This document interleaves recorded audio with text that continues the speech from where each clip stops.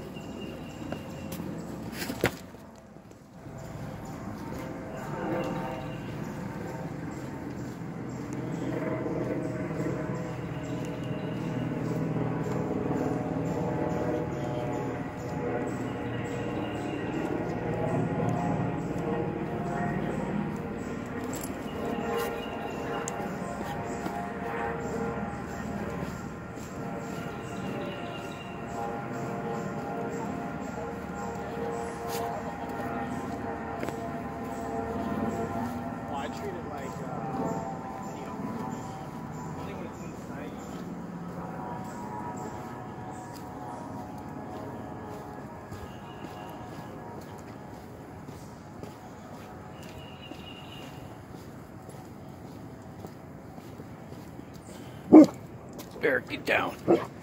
Don't worry, he's harmless.